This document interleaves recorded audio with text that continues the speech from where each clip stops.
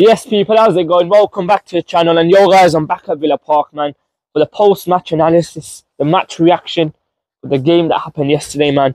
Newcastle United 5. I can't believe I'm saying this, you know, people. Newcastle United 5. Aston Villa 1, man. I thought I'd come to Villa and, and, and do like a, a, proper analysis on the game, man. I couldn't do the match reaction straight away yesterday because, yo, I was fuming, man.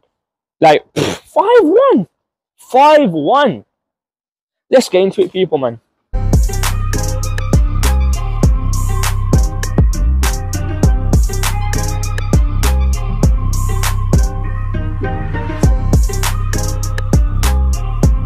But yeah, let's touch on the lineup. Lineup comes out, and I see no Pau Torres there. I'm seeing Lucas Digne there, bro. Minute, him and him and uh, Matty Cash, bro. The fullbacks were dry. I have to say, man, absolutely shocking, man. Poor, poor, man. Like, especially Matty Cash. We'll touch on him in a bit, but Lucas Digne for me, even him didn't show up, man. Absolutely poor. Um, what does he offer, people? What does that guy offer apart from one good cross here and there? But even when he's taking a cross, bro, like the guy takes so long to whip the ball in. Like he can't cross the ball when he's dribbling with the ball. Like he has to stop the ball, then cross it, man. Like nah, two fullbacks for me. They need replacing, man. I'm hearing um, we're in for another right back. Um, not to replace Matty Cash, but to provide competition uh, and to basically push him. But for me, I, I think we need two fresh right backs in, man. And Alex Moreno, Moreno, bro, we need you back ASAP. ASAP, man. Literally, like, both fullbacks for me let us down uh, that game yesterday, man. Absolutely shocking. Um, and yeah, let, us touch on it, people. First few minutes, man. Newcastle United, bro. Dumb man are on it. On it like a car bonnet, bro. Like, Dumb man started off differently. Energy was up, man. The Newcastle fans were up for it and stuff.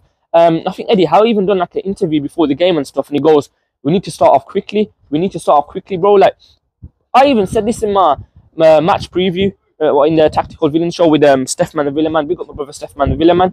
And we literally spoke about this. Newcastle United are a team that love to create space in behind. They're a team that love to exploit uh, space. And what happened? What happened in that game? Literally what we said. Bro, we should have been a manager that game. We literally saw it happening. We literally saw it happening, man. Let's touch on the goals. I think it's like six minutes in or something like that, bro. And who comes up, bro? Literally Cross comes in, um, and Tonali scores, man. Literally, man, easy as that, man. Easy as that. And then, yeah, after that, um, Villa literally get back into it, man. I'm like, yo, okay, Villa, we mean business. So I think there's Luke crossed it. Watkins done like a little flick on. Then who comes up with the goal? Moussa Diaby, man, the only player that stood out for me yesterday, man, I have to say. The only player that done his thing, man. I have to say the rest of the players went up for it. Went up for it, man. Like, it felt to me like they were shocked by the occasion. They saw the, the, the ground rocking and stuff. That, bro, we ain't used to this. We ain't used to this. But you man better get used to it, bro. Because there's expectation at Villa now. And we need to start delivering, man. Uh, I have to say that was a very good finish from uh, Diaby as well. Because in, uh, it was on his uh, right foot. Very, very good finish, man. That could have literally gone over the bar. But literally, yeah, and he scored. And then half time, uh, actually before half time, he had a few chances as well, man. Watkins, he had a chance. I think even Moussa Diaby had another chance as well um, took a shot and I think it was near post. For me, I felt like he should have gone to the far post, possibly would have gone in, or maybe even touched the defender and went in. But we had chances, man. We had chances, and that's a maddest thing, man. We weren't clinical that game. We're not clinical, man. Not clinical at all, man. And and we need to improve on that 100%, man. For me, Watkins, I keep on saying this, you know, he's a good overall striker, but he does miss a lot of chances. Let's be real, he misses a lot of chances, man. And yesterday he did miss quite a few chances. He needs to be more clinical in front of goal for me. Um, but yeah, literally 2 1. And then second half comes. And Newcastle up for it again, man. Literally, man. Um, who was it? Um, yeah, Konsa's mistake. It was Konsa's mistake. I think he tries to do like a ball roll or something like that. And then um, literally Isak pressures him and stuff. Takes the ball off Konsa.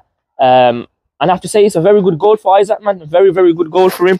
Um, and then literally after that, it's curtains. Once it was 3 1, I was like, nah, we ain't coming back in this, man. At Newcastle, ground's rocking again.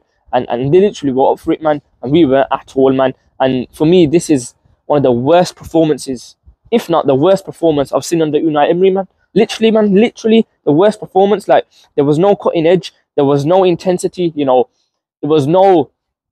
the the football that we've been playing in pre-season did not see at all. This is why pre-season, yeah, us Villa fans get gassed. It don't mean nothing, bro. It literally does not mean anything pre-season, man, because you like literally saw what happened yesterday, and I think that's the most heaviest defeat we've ever had in Villa's history in the opening game. And also, people in the second half as well, bro.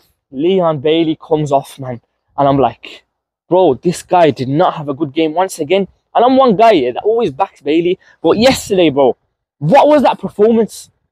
What was that performance, bro? Like, absolutely shocking. Like, no 1v1 ability, couldn't drive with the ball. Like, bro, what what was that? I'm one guy, like I said, I back Bailey, but yesterday I cannot back that performance. And I keep on saying this with Bailey, man. It's just inconsistency, guys, man. Inconsistency. Like, you can't have a few good games where he's on it, man. Touch was off, you know, he wasn't driving with the ball. And yeah, man, it's absolutely shocking. He comes off and Tielemans comes on. And also, um, and also, uh, yeah, yeah, man saying up the blues, you know. I get out of here, bro. You mad? what they doing here? Crazy, guys. But yeah, um, Bailey, like I said, bro, shocking, man. Shocking, shocking performance yesterday, man. Absolutely poor. And then, yeah, also, um, literally, Unai changes the formation. I think we play with the three at the back. Diego Carlos comes on. Um, McGinn comes off. I have to say, McGinn didn't have the best of games as well. And then, yeah, for Newcastle, guess who comes on? The guy that always scores against us, bro. Harvey Barnes, man, literally picks up the ball, plays it to Callum Wilson. Wilson's clear on goal and it in, man, and it's 4-1, man. I'm like, yo, bro, I'm literally zoned out after that, you know. I'm like, nah, how is this 4-1? Opening game of the season, literally, the last couple of games, the opening game of the seasons, we've been getting spanked. And that's literally what happened yesterday. Last season, because Bournemouth lost to them. And even the, the season before that, I think was Bournemouth again, we lost to them. Um, but yeah, yesterday was shocking, man. And then literally we're 4 1 down. Um, and then again, who comes up with the goal? Like I said, Harvey Barnes, bro. And we literally touched on this in the tactical villain show. Harvey Barnes is a player that loves space. And what literally happens, guy plays, I can't remember what player it was, but they played to Harvey Barnes. Barnes is clear on goal. Literally, can't remember uh, what fullback it was. I think it was Lucas Digne or someone. Uh, maybe it was Matty Cash. And then, yeah, he literally clear on goal and talks it in, man. And it's 5-1, you know. 5-1. And literally, last season, people, at, uh, at sorry, at Villa Park, we pushed Newcastle aside. We played some saucy football and we literally boxed them off the whole game. That was literally one of the best games I've seen under Unai Emery. And now it's literally the polar opposite. One of the worst games I've seen from an Unai Emery side at Villa. I don't know if it's just a, a freak result or something, but I can't even say that because the performance was shocking as well. Even if it's a freak, freak result, the players sometimes do show up and stuff like that and they just concede goals. But even the performance was poor, man. Poor from minute one all the way to the 90th, man. Um, yeah, man, absolutely shocking, guys. Absolutely shocking, man. And listen, all I'm saying is, yeah, you see that Everton game, we need a bounce back 100% next week, Sunday, at Villa Park, people. We need a bounce back. And I don't want to just want to see a win. I want to see a few goals. I want to see a minimum of three, three, four yeah, let's get that momentum back. The players are going to be hurt. Let's be real. Unai Emery, he's going to be hurt, bro. He's probably got an Excel sheet out right now. Yeah, probably doing a, a four-hour presentation telling the players on, on, on how to improve and stuff like that. And he needs to get into them, man. And don't get me wrong, Emery as well. He's got to take some blame for that game yesterday, man. The tactics, the high line, bro. Let me touch on that. The high line. Literally, all the goals we conceded towards the end were from the high line. And we need to sort that out, man. 100%. We need to sort that high line out. Because if you carry on with this in the Premier League, bro, we give players that space, that yard of space, we're going to get caught out, man. And that's literally what happened yesterday. So for the high line, we need to sort that out 100%. And also, we need to touch on Mings as well, man. Another injury for the Villa, man. I think it's an ACL. It's not looking good, man. Um, speedy recovery to Tyrone Mings, man. And he's going to be a massive, massive miss for us because, you know, he, he's got that presence for us. You know, he brings that leadership quality. Let's be real, he might not be the best footballer at Villa, but he brings that presence, he brings that leadership quality to Villa. Um, and yeah, man, it's going to be a massive, massive blow for us people, man. Massive blow, man. I'm not sure how long he's going to be out for. Um, I, I, think it might be quite some time. Um, but yeah, it's not looking good, man. First was Carlos, star of uh, last season. Now it's literally Buendia that got injured recently.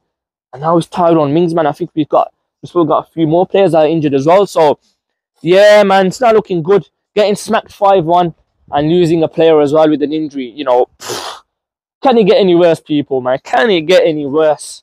Yeah, man, let me know your thoughts on the game, people. I still can't believe it, man. 5 1, you know. I don't know, man. But yeah, guys, I'll be back anyway at Villa Park um, with uh, Stefan Villa, man, for the preview, the tactical villain show, all of that, people. So stay tuned for that. Like, comment, subscribe, people. Newcastle fans, you guys must be gas, bro. I think they're gonna have a crazy season, you know. In the in the Premier League prediction, I was like, Newcastle might fall off and stuff like that because they got Champions League football. But looking at now, the man are looking saucy still, I have to say, man. They're looking very, very good. Uh, may probably be even better than they were last season. You never know. Uh, but yeah, guys, let me know your thoughts on the game. Like, comment, subscribe, and I'll be back with Stefan the Villa, man, um, very soon, people, for the, like I said, the, the tactical villain show and the preview as well. So yeah, man, up the Villa.